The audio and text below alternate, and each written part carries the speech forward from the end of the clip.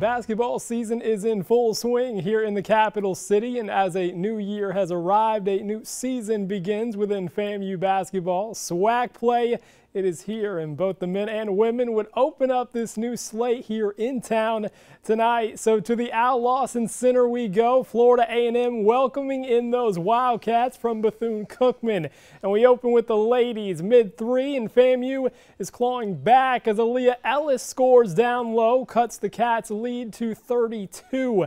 To the fourth, more from the home team. They go to Paula Weeks, and she goes to work. How about baseline for a pair? But BCU would be just too much tonight. On the other end, Nia Jordan showcasing her game and the turnaround it will fall and the Cats would just continue to pile on. Later, Damani Dorsey for three, and she hits. A tough night for FAMU as they open up SWAC play with a loss, 85 to 50. We've turned the ball over all year long, and I can I can live with that. We can keep working on that and fixing that. But as far as trying to build something here that's going to be long-standing and a culture that's going to be long-standing, we took a step backwards there, and that was what's more important to me than anything um, about sticking to the process, buying in, and um, staying the course. So um, we got tomorrow off.